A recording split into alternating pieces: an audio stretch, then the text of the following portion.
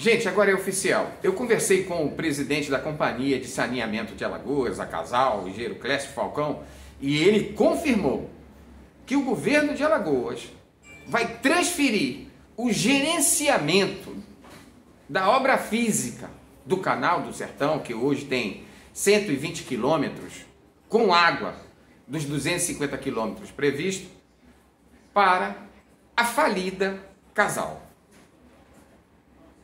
Que chama a atenção dos parlamentares, dos gestores municipais, vereadores, da população consumidora, é que a maior obra hídrica em andamento hoje no país, que custou cerca de 3 bilhões de reais até agora, e vem sendo construída desde 1990, vai sair de cinco secretarias para a empresa que não teve condições de gerir a distribuição da água nem o tratamento de esgoto. Tanto é que 80% desses serviços da Casal foram leiloados em tese privatizado mesmo para três empresas, duas delas multinacionais que vão explorar esses serviços por 35 anos.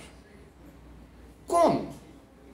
Uma empresa que não consegue tocar os seus principais serviços vai gerar uma obra de grande relevância para 600 mil alagoanos que residem em 40 municípios que hoje estão em situação de emergência.